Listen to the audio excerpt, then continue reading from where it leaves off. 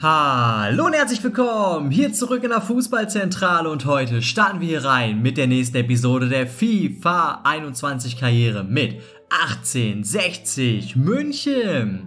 Und für die Leute, die es nicht mitbekommen haben und sich gewundert haben, wo waren denn in der Woche die Folgen? Ja, es ist jetzt so, in der Woche, dienstags und donnerstags kommt immer die Train to Glory Karriere und am Wochenende, also am Sonntag, kommt immer die TSV 1860 München Karriere. Dafür machen wir diese Folgen jetzt ein bisschen länger. Das heißt, ich denke, eigentlich hat da jeder was von, sowohl die Leute, die die 1860 Karriere schauen wollen, als auch die Leute, die eine neue Karriere sehen wollten. Und ich hoffe so, dass das auch alles weiterhin gut ankommt. Bisher muss ich sagen, die Train to Glory kam richtig, richtig gut bei euch an. Danke auf jeden Fall auch hier schon mal nochmal dafür. Und jetzt würde ich sagen, aber starten wir schnell rein in diese Folge, denn es geht direkt weiter in der Bundesliga. Wir stehen richtig, richtig gut da, muss man einfach mal ganz ehrlich so sagen. Und es geht weiter für uns gegen RB Leipzig. Das wird kein ganz einfaches Spiel, aber normalerweise sind wir schon der klare Favorit, wenn man sich jetzt einfach mal die Tabellenposition anguckt. Aber wir hatten immer Probleme gegen RB Leipzig, nur in dieser Saison bisher noch nicht. Das Hinspiel haben wir sehr, sehr easy gewonnen. Ich würde sagen, wir starten rein mit dieser Elf. Das ist das Beste, was wir haben. Ich würde sagen, das erste Spiel machen wir mal in der Simulation. Schauen wir mal, ob wir uns hier gegen Leipzig wieder so einfach tun wie im Hinspiel. Allerdings haben wir im Hinspiel gespielt. Das könnte durchaus einen Unterschied machen. Nach 10 Minuten gibt es jetzt hier einen Freistoß für uns. Lorenz wird ihn wohl treten. Lorenz gefährlich, Nachschuss. Kososuna macht hier das 1 zu 0. Der Typ ist aktuell auch richtig gut drauf, was Tore schießen angeht. Also in den letzten Spielen wird er noch zum richtigen Goalgetter.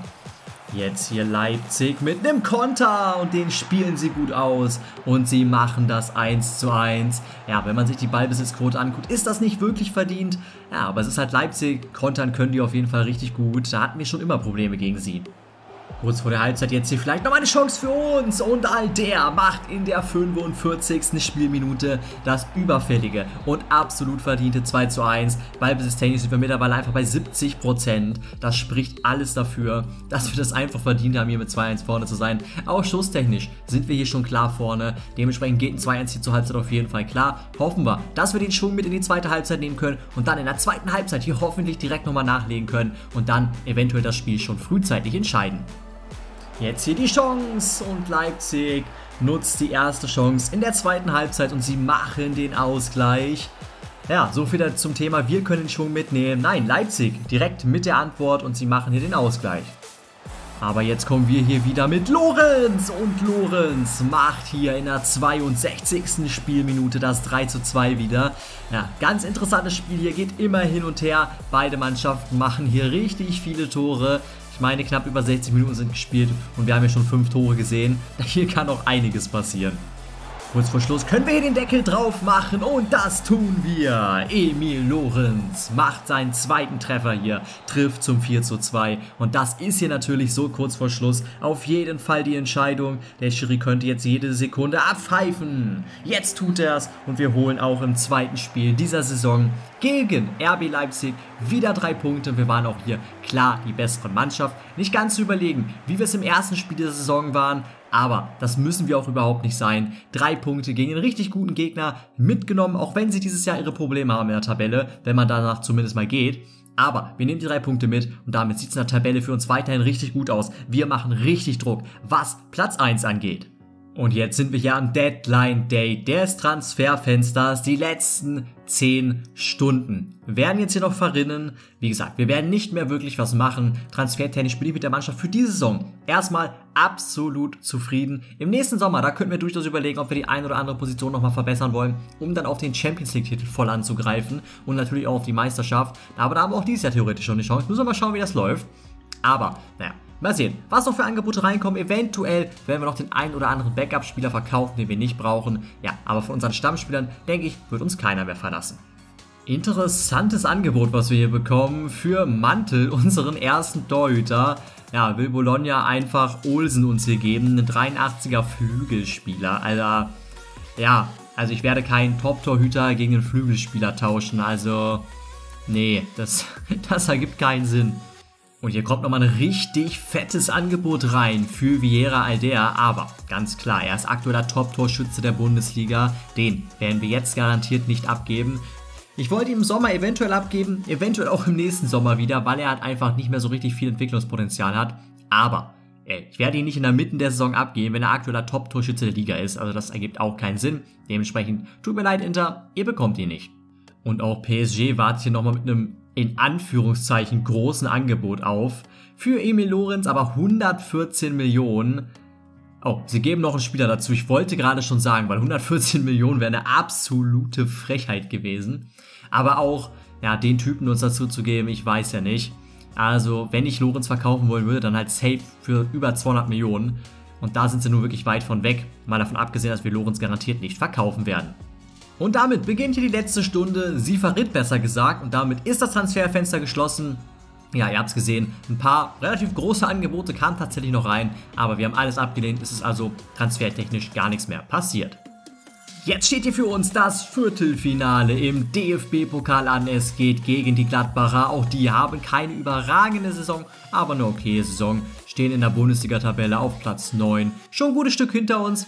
Aber natürlich, Gladbach darf man nie unterschätzen. Die haben durchaus immer eine gute Mannschaft. Also denke ich mal auch, dass sie hier durchaus ein schwerer Gegner sein werden. Von der Mannschaft her gibt es natürlich wieder Änderungen. Hiller im Tor ist klar, ist ein Pokalspiel. Dann Traoré im Sturm, Würz kommt wieder ins Mittelfeld und ansonsten bleibt alles beim Alten. Wir wollen das Spiel natürlich auch wirklich seriös angehen und gewinnen. Ich würde auch sagen, dass wir das Spiel spielen und uns dann gleich hier wiedersehen im Borussia Park. Und damit jetzt hier herzlich willkommen im Borussia Park zum DFB-Pokal Viertelfinale zwischen der Heimmannschaft Borussia Mönchengladbach und uns, dem TSV 1860 München. Wir sind natürlich in der klaren Favoritenrolle, das muss man schon ganz ehrlich so sagen. Wir spielen einfach eine unfassbar gute Saison und wenn wir hier gewinnen, stehen wir einfach schon im Halbfinale. Und wenn man mal den Turnierbaum ansieht, ist die linke Seite da deutlich, deutlich schwieriger, aber Bayern trifft auf Dortmund. Das heißt, eine gute Mannschaft wird auf jeden Fall schon mal rausfliegen. Ja, ich würde tatsächlich vermuten, dass die Bayern rausfliegen. Die spielen keine gute Saison, haben auch letzten Liga gegen tatsächlich Dortmund verloren. Was ich noch interessant finde, kurzer Side-Fact hier, gerade kam die Nachricht, Ante Rebic hängt bei den Gladbachern nach dieser Saison seine Fußballschuhe an den Nagel. Da sieht man einfach mal, wie lang wir hier einfach schon an dieser Karriere spielen. Jetzt würde ich aber sagen, starten wir rein ins Spiel. Die Gladbacher hier mit der ersten Chance und sie gehen direkt mit dem ersten Abschluss in Führung. Und ich glaube, es war der gerade angesprochene Ante Rebic. Ich glaube, weiß ich gar nicht. Hat, hat er kein Playerface? Nee, sieht nicht so aus. Ja, 1-0 für die Gladbacher. Ja, leicht gespielt. Wir sind auch nicht so richtig wach gewesen, das muss man ganz ehrlich so sagen. Klar, wir haben auch Hiller jetzt hinten drin, nicht Mantel. Das ist natürlich schon eine andere Güteklasse an Keeper.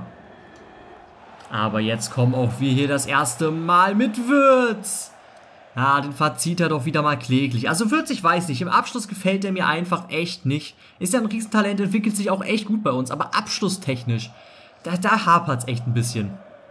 Wieder gut gespielt. Dieses Mal ist Otto frei durch. Und auch Otto vergibt hier kläglich. Er scheitert aber immerhin am Keeper und schießt nicht einfach vorbei. Aber wir müssen jetzt hier mal mindestens den Ausgleich gemacht haben. Und jetzt kommt Gladbach hier mit einem Konter. Das kann auch richtig gefährlich werden. Wird's. Oh, Sagal holt sich da den Ball, ist frei durch, sagt geil, er nutzt die Chance und er macht das 1 zu 1 in der 19. Spielminute und der Ausgleich ist hier absolut überfällig. Nach dem 1 zu 0 der Gladbacher kam von ihm gar nichts mehr. Wir haben das Spiel komplett in unsere Hand genommen und hatten dann auch noch zwei richtig gute Chancen. Wir haben natürlich ein bisschen Glück, dass der Verteidiger den Ball da nicht besser verteidigt. Ansonsten normalerweise muss er den natürlich haben, aber Sagai nutzt das eiskalt aus und wir sind wieder im Spiel. Gladbach hier wenig geschockt vom Ausgleich und sie gehen wieder in Führung. Ah, ärgerlich, ärgerlich, ärgerlich. Eigentlich hatten wir das Spiel wirklich gut unter Kontrolle bis zum Ausgleich. Danach haben wir wieder ein bisschen nachgelassen und die Gladbacher bestrafen das wieder eiskalt. Kondogbia mit dem Treffer. Im Übrigen war der erste Treffer nicht Ante Rebic, ich hatte mich schon gewundert. Äh, das war Bialek. Dementsprechend das nehme ich zurück. Aber trotzdem, ist natürlich blöd, dass wir wieder direkt in Rückstand geraten, nachdem wir gerade erst den Ausgleich geschossen hatten. Traoré hat jetzt hier die Möglichkeit. Und er macht ihn. Wir machen direkt den Ausgleich. 35. Spielminute. Das Spiel ist wieder auf Null gesetzt. Ja, aber ich verstehe nicht so ganz, warum unsere Mannschaft das immer so machen muss dass sie jetzt hier wieder aufdreht, sobald es nötig ist, aber dann wieder runterfährt, sobald es nicht mehr nötig ist. Hier wieder einfach und schnell gespielt, Traoré mit dem guten Abschluss. Der ist ja sowieso, was Pokalwettbewerbe angeht, ein absolutes Biest.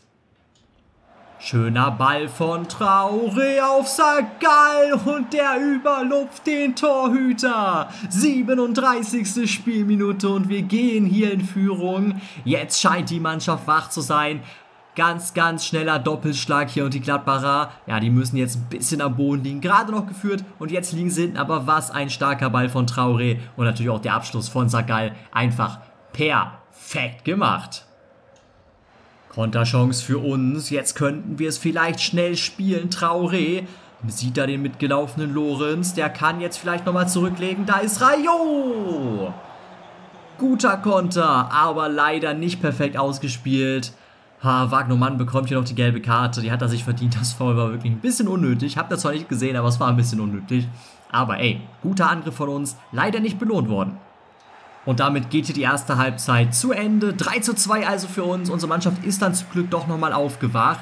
Aber was uns in den letzten Spielen leider so ein bisschen abgeht, ist die solide Defensive. Das muss man, glaube ich, ganz ehrlich so sagen. Das war am Anfang der Saison wirklich mal eine Stärke von uns, dass wir wenig Gegentore kassiert haben. Jetzt in den letzten Spielen deutlich mehr. Gegen Leipzig wieder ordentlich was. Heute gegen Gladbach in einer Halbzeit wieder zwei. Ja, das müssen wir wieder ein bisschen in den Griff kriegen. 70 Minuten sind jetzt in der zweiten Halbzeit gespielt. Bisher passiert in der zweiten Halbzeit deutlich, deutlich weniger als in der ersten. Allerdings, ja, Gladbach nicht wirklich gefährlich, aber immer mit so einem, ja, man hat immer das Gefühl, gleich könnte irgendwas passieren. Und auch bei uns aber. Also beide Mannschaften könnten hier jederzeit einen Treffer machen irgendwie. Das ist ein ganz, ganz komisches Spiel. Die Gladbacher kommen aber immer wieder in diese Situationen und da haben wir mal Glück, dass wir gut stehen und sie dann zum Glück nicht zu gefährlichen Abschlüssen kommen. Und wir können dann immer wieder schnell umschalten. Traoré auf Sagal. Sagal scheitert hier am Keeper. Das war die Riesenchance, den Sack hier zuzumachen mit einem 4 zu 2. So bleibt es hier auch 15 Minuten vor Schluss noch richtig spannend. Und damit ist das Spiel hier aus. Wir stehen im Halbfinale des DFB-Pokals nach einem Spiel, wo wir uns durchaus schwerer getan haben, als man das vielleicht vor dem Spiel hätte erwartet. Aber am Ende, ja, sind wir eine Runde weiter. Das soll hier das Entscheidende sein. Man muss natürlich trotzdem ankreiden, dass die Mannschaft, sag ich mal, die ersten 20 bis 30 Minuten echt noch nicht so richtig auf dem Platz war und dass sie das sich erst so ein bisschen erarbeiten mussten, dass sie hier reinkommen. Das ist natürlich schon ein kleines Problem und kann uns gegen große Gegner auf jeden Fall auch mal ein Spiel kosten. Heute haben wir uns hier am Ende aber doch noch durchgesetzt und stehen somit verdient im Halbfinale. Und es geht direkt wieder gegen die Gladbacher, dieses Mal aber in der Bundesliga. Da stehen sie auf Platz 9, das habe ich ja vor dem DFB-Pokalspiel schon gesagt. Also auch hier, wir haben sie gerade erst im DFB-Pokal geschlagen und das mit einer etwas schlechteren Mannschaft, als wir wirklich haben. Jetzt kommt nämlich Mantel wieder rein und auch Alder kommt wieder rein. Das heißt, normalerweise sollten wir hier nur eigentlich keine Probleme haben. Aber trotzdem, ja, Gladbach, wie gesagt, darfst du nicht unterschätzen. Wir starten rein und wir gewinnen am Ende mit 2 zu 1. Stiller und all der, die Torschützen. Und das ist absolut verdient, wenn man sich ja mal die Schüsse und die Chancen anguckt. Also, wir nehmen hier ganz verdiente drei Punkte mit, besiegen die Gladbacher direkt zweimal in einer Woche und somit bleiben wir daran. Dortmund ist unser großes Ziel in der Tabelle, wir müssen nur hoffen, dass sie nochmal federn lassen. Und hier geht's weiter in der Bundesliga. Nächster Gegner ist der SC Freiburg. Auch das normalerweise eine Mannschaft, die wir durchaus besiegen sollten. Platz 13 für sie. Ja, von der Mannschaft her gibt es einen Wechsel. Hughes darf jetzt mal auf dem rechten Flügel ran. Der ist nämlich ein bisschen unglücklich, weil er die Saison echt wenig Einsatzzeit bekommt. Aber Rayo ist halt einfach wirklich ein bisschen, ja, der geilere Spieler so ein Zocken. Das muss man einfach ganz ehrlich so sagen. Deswegen spielt er bei mir ein bisschen mehr. Aber Hughes hat sich auf jeden Fall auch verdient, hier mal Einsatzzeit zu bekommen. Ist ja auch schon ziemlich lange bei uns. Ich würde sagen, auch das Spiel können wir fix simulieren. Und wir verlieren. Wir verlieren. Wenn ich mich nicht irre, haben wir auch schon in der Hinrunde gegen die Gladbacher Punkte, äh, Gladbacher, gegen die Freiburger Punkte liegen lassen. Und das, obwohl wir wirklich wieder die deutlich bessere, oder deutlich in Anführungszeichen, so deutlich jetzt auch nicht, aber ein bisschen besser, äh, von den Schüssen her zumindest. Hughes, ah, kein guter Abend, ne? Kein guter Abend. Wurde direkt wieder ausgewechselt in der 47. Wow, hat er so schlecht gespielt, dass man ihn direkt rausnehmen musste? Oder woran lag das? Ging sogar, ne? Ging sogar eigentlich. Aber trotzdem, das sind wieder ärgerliche Punkte, die wir hier liegen lassen. Und jetzt geht es hier für uns in der Europa League weiter. Es geht gegen den OGC Nisa. Das wird ein richtig interessantes Spiel. ist das Hinspiel in der Europa League, der Runde der letzten 32. Da müssen wir auf jeden Fall ein gutes Spiel liefern und am besten natürlich kein Gegentor kassieren. Top-Torschütze in diesem Wettbewerb ist immer noch Traoré. Der wird aber nicht beginnen bei uns, sondern Alter, denn wir spielen mit unserer besten Elf. Ich bin auf dem Trim, ich möchte jetzt dieses Jahr irgendeinen Titel gewinnen. Ist der DFB-Pokal, ist es die Europa League oder die Meisterschaft, das ist mir komplett egal. Am besten natürlich alle drei, wird aber schwer. Aber ich möchte irgendwas gewinnen. Das heißt, wir werden alles geben. Und das hat auch eine Auswirkung auf der Torhüterposition, denn das wird das letzte Spiel von Hiller im Tor diese Saison sein, außer Mantel verletzt sich. Im DFB-Pokal stehen wir im Halbfinale, ab da würde ich dann gerne eigentlich mit der besten Elf spielen und Mantel ist nun mal einfach sieben Gesamtstärken besser. Das heißt, dann würde ich gerne den besseren Torhüter spielen lassen. Gleiches gilt hier in der Europa League. Wenn wir hier weiterkommen und dann im Achtelfinale spielen, ja, dann würde ich schon eigentlich gerne mit einem Top-Torhüter spielen und nicht mit Hiller. Äh, deswegen denke ich, dass es auch für alle okay ist, beziehungsweise auch für Hiller okay ist, wenn er weiß, ja, ich bin halt einfach nicht so gut, dass wir dich noch spielen lassen können. Wir behalten jetzt Nummer 2 natürlich ganz klar, aber ich denke einfach, dass das dann an der Zeit ist, hier einen neuen Torhüter einzusetzen für diese Spiele. Jetzt mache ich noch kurz die Pressekonferenz und dann sehen wir uns aber im Hinspiel der Runde der letzten 32 gegen Nizza. Und damit jetzt hier herzlich willkommen zu einem Europa League Abend beziehungsweise eher einer Europa League Nacht hier in München im Grünwalder Stadion. Immer noch lustig in so einem kleinen, aber doch ehrwürdigen Stadion hier ein Europa League-Spiel auszutragen. Ich hoffe, dass wir dann nächstes Jahr dann Champions League-Spiele drin austragen dürfen. Aber jetzt konzentrieren wir uns hier auf die Europa League. Nizza, sicherlich eine Mannschaft, die wir durchaus besiegen sollten, aber natürlich trotzdem wieder ein schwerer Gegner, darf man nicht unterschätzen. Und es ist natürlich hier die K.O.-Phase. Wir brauchen ein gutes Ergebnis hier im Hinspiel, um dann im Rückspiel den Einzug in die nächste Runde klar zu machen. Würz holt sich da außen den Ball, spielt den Ball rein und da ist Rayo am zweiten Pfosten. Siebte Spielminute 1 zu 0 und das ist absolut verdient, wenn man sich hier die ersten Minuten anguckt. Denn ja, Nizza hatte noch nicht einmal den Ball. Wir hatten Anstoß, haben angestoßen, Ball gehabt, nach vorne gespielt, schon ein paar gute Abschlüsse gehabt, die aber leider nicht zum Tor geführt haben. Und jetzt hier, der ist drin. Ja, eiskalt ausgespielt. Das kann lustiger Abend werden, wenn es hier so weitergeht. Jetzt haben wir hier Aldea in einem 1 gegen 1 Duell gegen den Verteidiger. Setzt sich da gut durch. Leider hält der Keeper aber auch gut. Somit bleibt es hier beim 1 zu 0. Ja, aber Nizza ist bisher doch ziemlich überfordert mit uns. Und wir kommen hier nochmal starker Ball von Sagal auf Würz. Und Würz macht hier in der 15. Spielminute das 2 zu 0. Ja, hier läuft alles für uns. Nizza hat überhaupt keine Chance. Die Jungs sind absolut da geben hier 100% und das ist für jeden Gegner diese Saison wirklich eine Gefahr. Wir haben schon Mannschaften abgeschossen, bei denen es keiner erwartet hätte und wenn Nizza hier so weitermacht, dann kann das ein ganz, ganz bitterer Abend werden für sie. Rayo in der Mitte, Lorenz dabei. Auf der anderen Seite kommen aber nochmal Leute mit Würz. Der Typ ist sowas von blind vorm Tor, das ist unfassbar. Ey Junge, wie kannst du denn da den Verteidiger noch abschießen? Vielleicht ja durch die anschließende Ecke, aber direkt die Redemption. Und das tun wir. Wieder ist es Costa Suna. Der Typ ist eine absolute Maschine geworden. Was Tore angeht, nach Ecken macht er richtig, richtig stark hier. Aber auch wieder natürlich eine gut getretene Ecke. Lorenz bringt das Ding da punktgenau rein. Ja, Kosasuna setzt sich dann eiskalt im Kopfballduell durch. Er trifft nicht den Verteidiger, der auf der Linie steht und macht hier das 3 zu 0.